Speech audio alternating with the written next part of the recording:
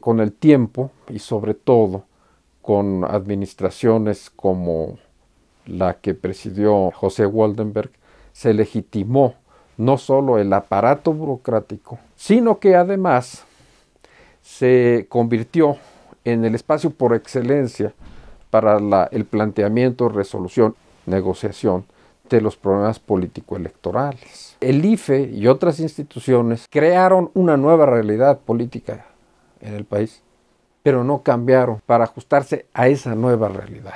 El IFE tendría que ser instrumental de una voluntad del electorado y no un órgano protagónico de las elecciones. Quizá ya eh, cumplió con la misión histórica que tenía y que como todo en México hay que repensarlo. Todo lo que sea cuestionable y, que sea impugnado no debe ya resolverse en el IFE, debe dejarse a tribunales, pero sí ha dejado de haber esa suspicacia sobre la legitimidad y la transparencia de los resultados electorales. Eso ya está desapareciendo en el país. Un órgano que fue creado, entre otras cosas, para resolver ese problema, eh, debe readaptarse, debe redimensionarse. El costo del voto en México es exorbitante.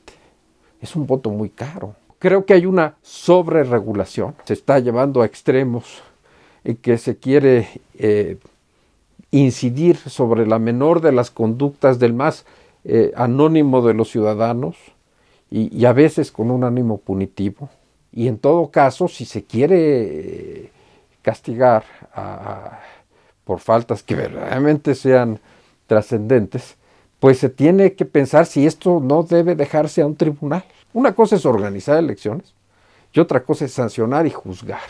Habría que pensar si este sistema ha funcionado bien y si no buscar alternativas.